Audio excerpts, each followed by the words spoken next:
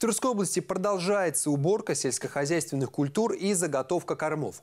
Общая площадь, на которой будет собран урожай в 2021 году, составляет 93 600 гектаров. Три четверти из них уже убраны, завершается сбор озимых зерновых культур. Полностью выполнен прогнозный показатель почти в 11 тысяч гектаров. По последним данным Министерства сельского хозяйства региона, зерновые убраны на площади 54,5 тысячи гектаров.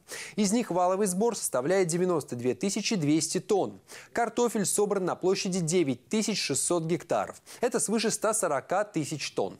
Овощи убраны на площади около 2 тысяч гектаров. Это больше, чем в прошлом году. Заготовлено 162 тысячи тонн сена, 230 с лишним тысяч тонн сенажа, почти 115 15 тысяч силосной массы.